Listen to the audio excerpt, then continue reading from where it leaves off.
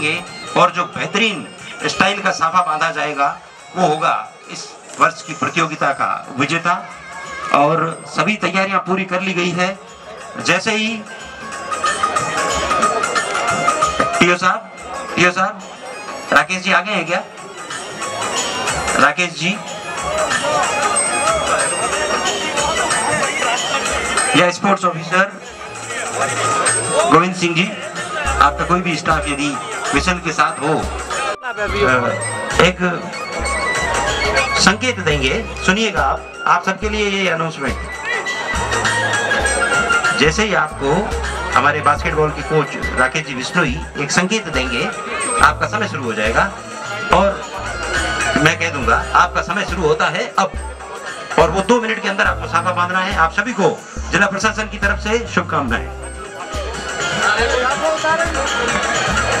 आप सबको ये ज्ञात करते हुए बता दूँ, दो मिनट का समय मिलता है साफा बांधने के लिए। वीरों की धरती जैसलमेर में इसी मंच से ये उद्घोष किया था कल पद्मश्री कैलाश खैर साहब ने। एक बार जोरदार तालियाँ इस मरु महोत्सव के लिए, आप सभी की तरफ़ से।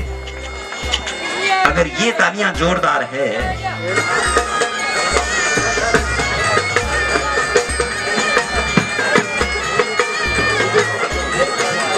और जिनकी साझा मेजबानी में आयोजित किया जा रहा है मरु महोत्सव मोदी साहब पुलिस अधीक्षक डॉक्टर अजय सिंह जी और निदेशक पर्यटन निशांत जैन साहब जिला प्रशासन और पर्यटन विभाग की साझी मेजबानी में आयोजित मरु महोत्सव का दूसरा दिन और नया जश्न this is the presentation of theme, decoration, appearance. This all matter in this competition. Tying a turban is not only a tradition but an art as well. Turban enjoys an important place in the life of native Jaisalmeri.